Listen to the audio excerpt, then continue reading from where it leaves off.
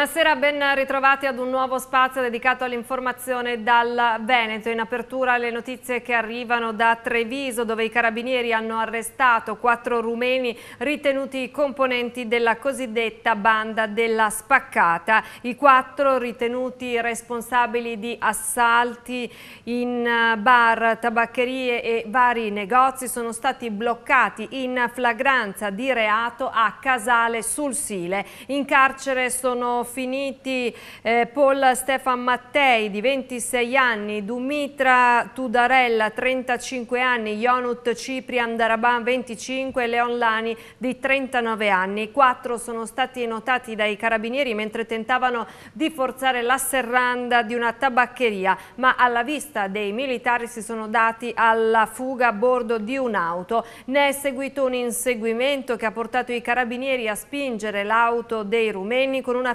affiancata contro un muro, mentre il secondo lato veniva bloccato dai mezzi di servizio, di fatto imprigionando i quattro nell'auto. I rumeni davanti alla tabaccheria dunque sono stati bloccati, nell'auto è stato trovato materiale da scasso tra cui una mazza ferrata, un'ascia, un cavo d'acciaio da traino, cacciaviti e pinze. E lungo l'A4 in territorio di Cessalto, in provincia di Treviso, nella notte si è svolto un roccambolesco inseguimento dopo che un furgone sospetto non si era fermato all'alt delle forze dell'ordine. Era l'1.30 quando era in corso da parte dei carabinieri un apposito servizio di cattura di latitanti. Dopo la fuga con la collaborazione della Polstrada di San Donà il mezzo è stato inseguito eh, a bordo tre stranieri, l'auto della stradale è stata anche speronata dai malviventi, poi hanno proseguito la fuga a piedi ma i carabinieri sono riusciti a bloccarli e infine è scattato l'arresto. Gli agenti della stradale sono rimasti feriti con una prognosi di 10 giorni. Degli arrestati due erano effettivamente ricercati. Nella fase conclusiva della cattura i tre sono stati eh, violenti, ci sono stati stati dei momenti di tensione, due carabinieri sono rimasti feriti. Una telefonata anonima stamane ha fatto scattare le procedure di sicurezza nelle sedi del Tribunale di Venezia. Una voce sconosciuta aveva preannunciato un'esplosione. Sul posto sono giunti i carabinieri della Compagnia di Venezia che hanno verificato in maniera meticolosa i locali. Non è stato necessario evacuare gli stabili e le procedure di controllo hanno dato esito negativo. Molte automobili di nuova generazione per una questione di sicurezza fanno scattare le serrature dall'interno quando il motore è acceso. Sentite cosa è successo ieri ad Abano. È scesa dall'auto lasciando il motore acceso e la sua bimba sul seggiolino, ma il sistema di sicurezza ha chiuso la serratura dall'interno. Sono stati momenti di panico, quelli vissuti da una mamma che ad Abano Terme era scesa un momento dalla macchina lasciando il motore acceso per non spegnere l'aria condizionata. Un momento nel quale sono scattate le serrature e lasciando di fatto bloccata all'interno la figlia di alcuni mesi. La donna, rendendosi subito conto di non riuscire ad aprire la porta, ha chiesto aiuto ai passanti abitanti e alla fine è stato necessario l'intervento dei vigili del fuoco. I pompieri hanno rotto il finestrino con molta attenzione e la donna ha riabbracciato la sua piccolina. Questa notizia dovrebbe far riflettere un po' tutti e ricordare che le auto di ultima generazione sono quasi tutte dotate di chiusura automatica e bisogna sempre porre attenzione quando si esce dall'abitacolo e si lascia o il motore acceso o si lasciano le chiavi all'interno.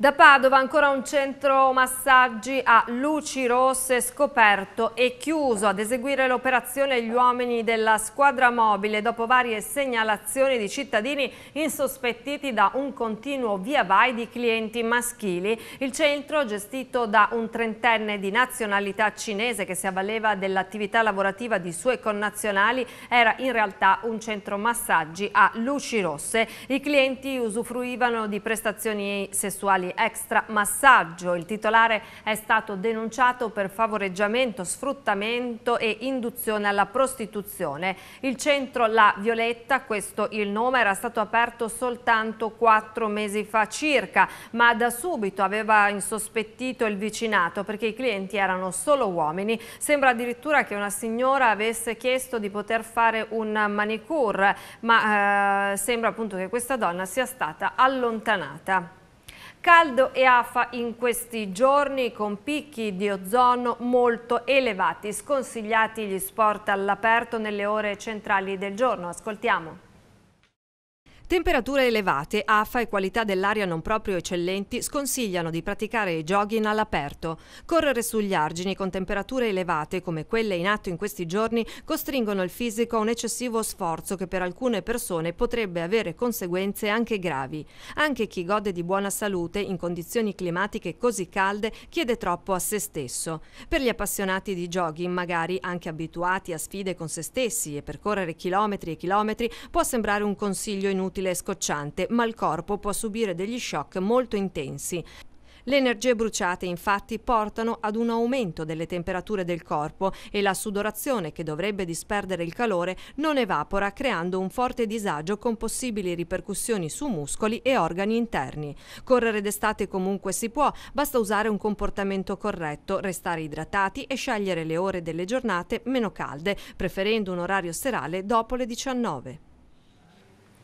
E adesso una notizia che arriva dal mondo politico veneto, da Treviso. La Lega è una cosa, Gentilini è un'altra e nessuno deve farmi girare le scatole. Parola dell'ex sindaco sceriffo di Treviso che in un'intervista alla tribuna ricorda che per le elezioni comunali del 2013 è pronto a correre da solo per tornare ad amministrare la città della Marca. Alla mia età, ha detto, uno corre per vincere, diventare sindaco, indicando di avere già deciso di candidare candidarsi e se in questi mesi da parte di qualcuno ripartirà la guerra interna alla Lega contro di me, dice Gentilini, correrò con una mia lista civica sganciato dal carroccio. Una decisione questa che prenderà nei prossimi 3-4 mesi.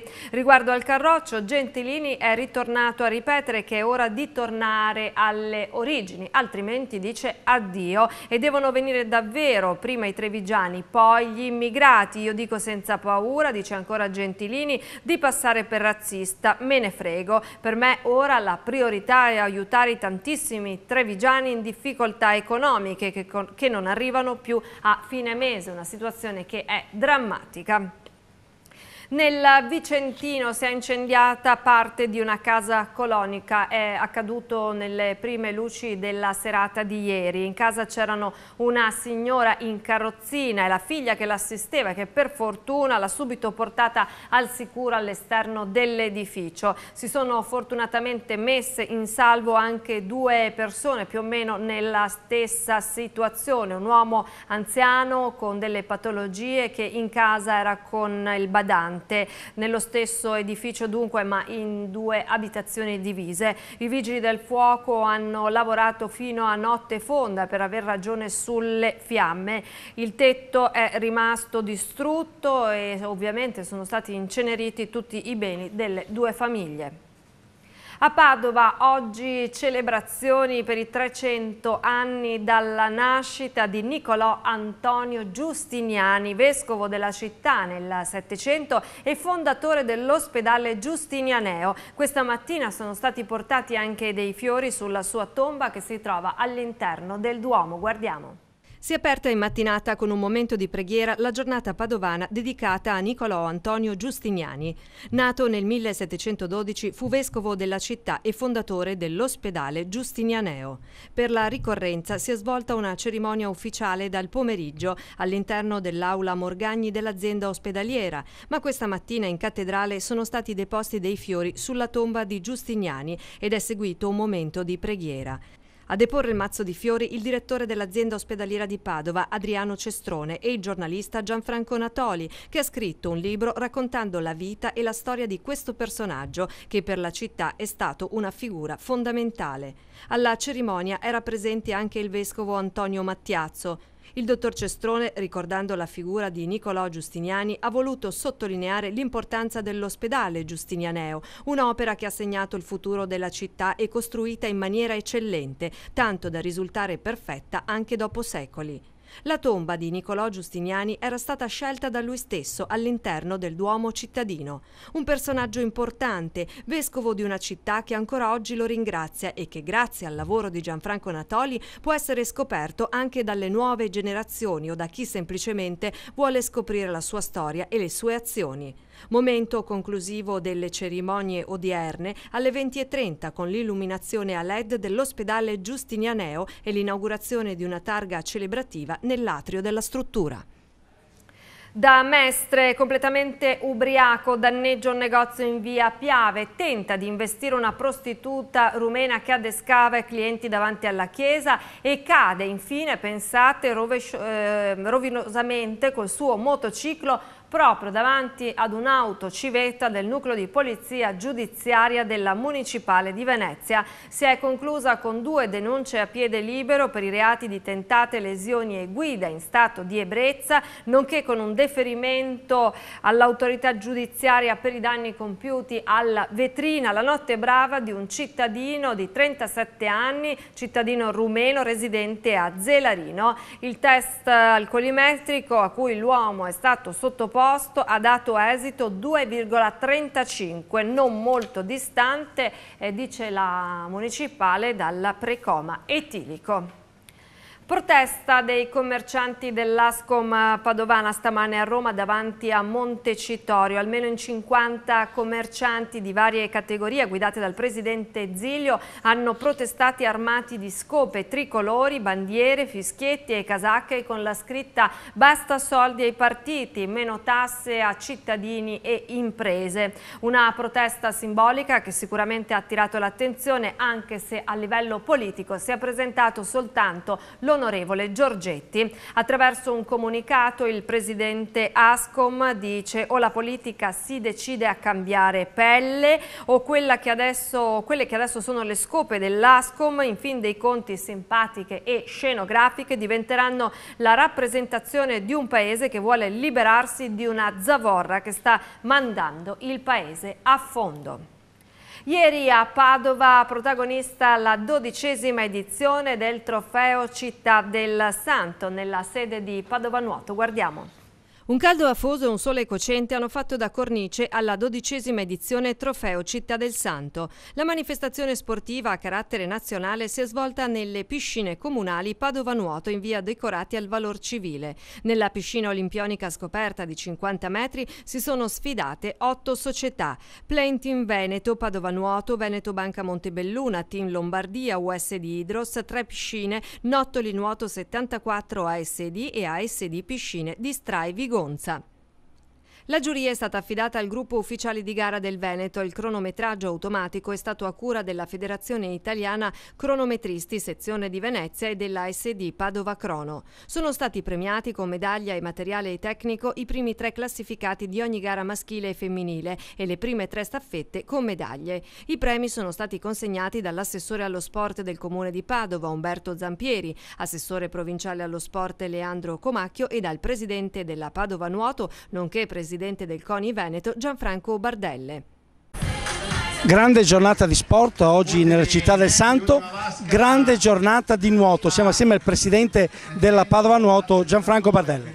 Ma indubbiamente Padova eh, nel nuoto si merita perché ha dei grandi atleti in questo settore, ma poi non voglio dimenticare anche la pallanuoto presso il plebiscito, quindi eh, il nuoto qui è di casa eh, sarebbe giunto il momento di dotare questa piscina olimpica di 50 metri di quelle attrezzature da poter portare a un campionato a livello nazionale o internazionale. Io spero che con l'amministrazione si riesca a raggiungere questo obiettivo e fra due o tre anni questi campioni che abbiamo visto oggi gareggiare con campioni a livello internazionale.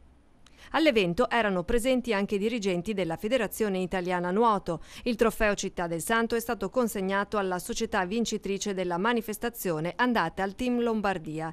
La seconda e terza società sul podio hanno ricevuto una coppa, una targa andata all'ottava società classificata.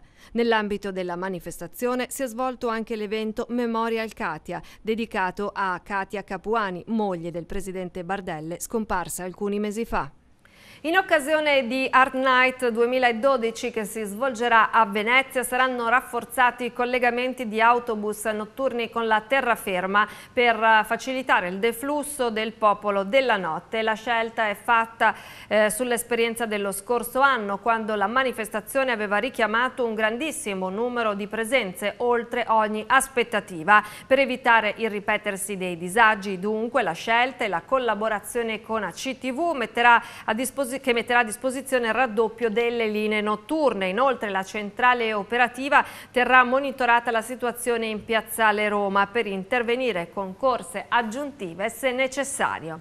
Ed ora uno sguardo al tempo, l'influenza sul Veneto dell'anticiclone presente sul Mediterraneo verrà attenuata tra domani e sabato dal passaggio di una perturbazione con nucleo d'azione sull'Inghilterra. Sulla regione avremo dunque condizioni di variabilità, specie in montagna con precipitazioni anche a carattere di rovescio o temporale e un calo delle temperature massime nella giornata di sabato. È tutto per questa edizione, grazie per essere stati con noi, buon proseguimento di serata, arrivederci a domani.